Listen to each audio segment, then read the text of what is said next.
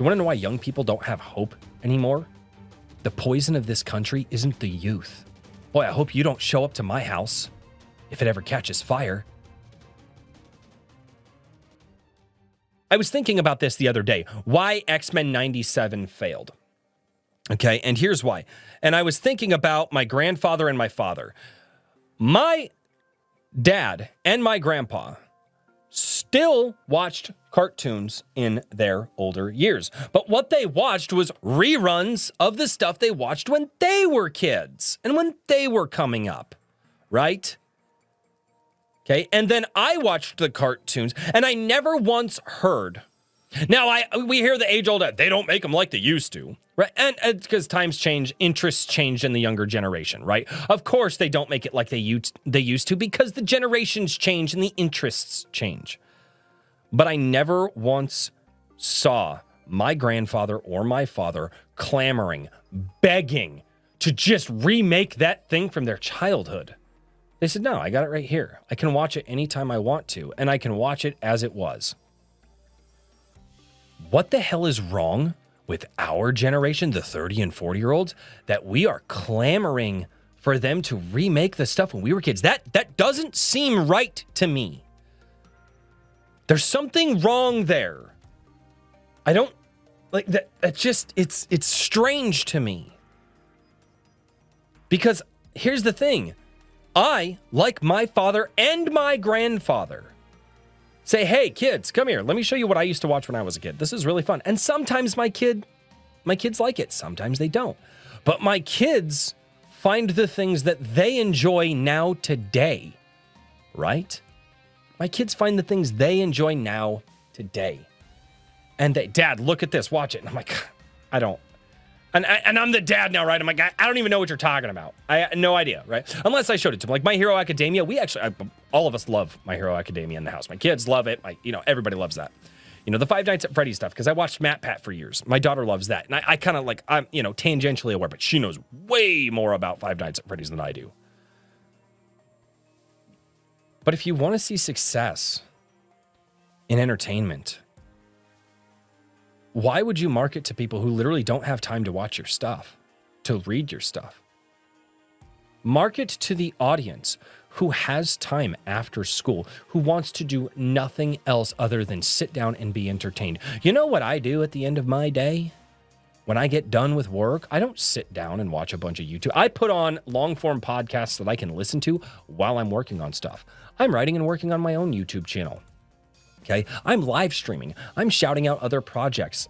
You know, I'm trying to help my wife around the house. I'm trying to build a freaking barbecue pit. I'm trying. So I don't have time to sit down and watch like X-Men 97. And not only that, I'm like, yeah, but I like I watched X-Men 97 when I was kid. Why would I watch this one when the old one like is still there? I'll just go on like eBay and find like a DVD thing and buy that, right?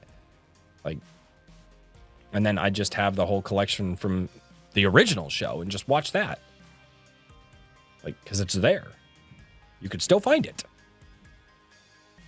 But my kids, when they have free time, it's too cold outside, it's too hot. Maybe they don't. What do they do? They sit down and they turn something on to be entertained and they dedicate hours sometimes. When it's negative 25 and the wind is blowing, guess what? The kids aren't really playing outside. So they will dedicate hours of their time to sitting there and watching a show and learning about it and then telling me about it and then saying we want we want this merch for for for for our birthdays and, and for you know uh, it's like all right well and so and guess what? And so now we as the parents not only do my kids dedicate whatever little money that they make from from getting odd jobs around the neighborhood to that stuff but now they ask us as parents to go spend that money. I I don't understand Like, and people argue with me about this. They're like, nah, this generation's lost. They don't know anything. I'm like, how can you say that? You're not even trying to reach out to them. And yet, the amazing digital circus comes out, takes six months to do an episode, and gets 63 million views. And kids are paying attention to it and they're looking at it. And they're like, this, this speaks to me. But, you know, but, you know, I don't want to make kids content. Never said you had to. Right? I mean, My Hero Academia, I wouldn't exactly say is kids content, but it's content for everybody. But yeah. Batman Beyond Teenage Mutant Ninja Turtles, they don't need new versions. Yeah.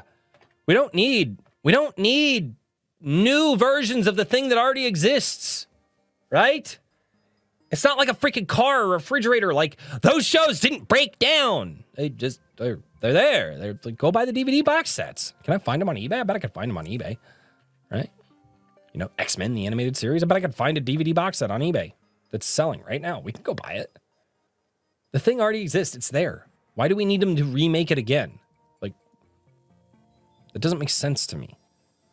Disney needs to stop pandering to my demographic because that's what they're doing. And they're failing at it gloriously, by the way.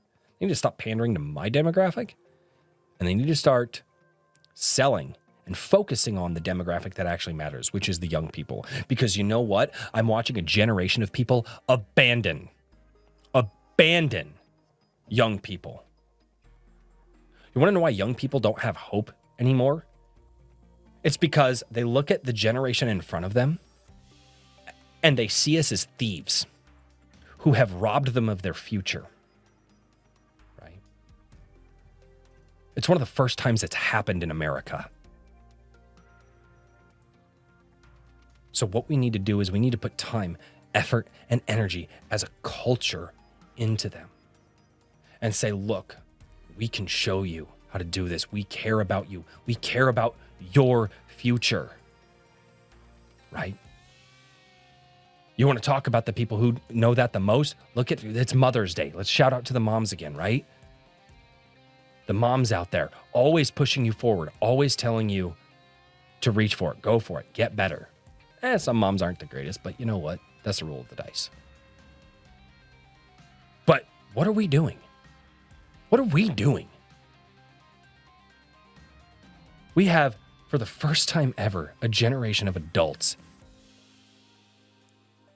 that isn't giving any hope or guidance or care to the next generation. Guess what? The poison of this country isn't the youth, it's us. Think about that. If the youth is lost and you believe that they are lost, and you say, So I'm just going to walk away from God, God, Boy, I hope you don't show up to my house if it ever catches fire. Well, the house is on fire. He's probably dead already anyway.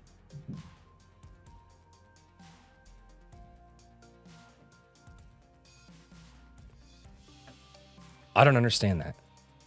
The youth is lost. Might as well just give up on them. And it breaks my heart every time I see people say it. Every time. How selfish can you be? How selfish can you be? And I don't know, maybe I speak maybe maybe I'm saying this because I'm a I'm a father of 4. But I, I couldn't imagine that. I couldn't imagine looking at my children and saying, "Oh, you're lost. You're just you're just a screw up. Yeah, don't need to worry about you anymore. I've got my own thing that I want to do."